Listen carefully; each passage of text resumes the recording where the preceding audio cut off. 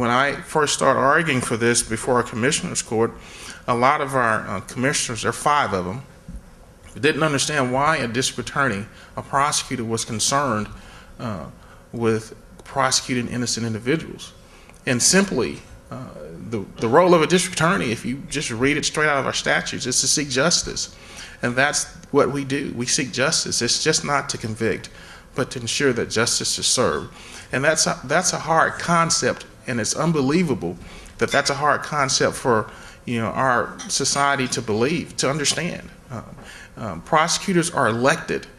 Uh, unfortunately, they're elected, and it may be a good thing, it may be a bad thing, but because they're elected, uh, they look at issues that are very simple. You have politicians that um, take these offices, and and it's easy to get on television and tell someone that you're going to be tough. That's an easy concept because you can fit that within a 10 second soundbite and get your message across. A hard concept is to explain to your constituents that you want to be smart.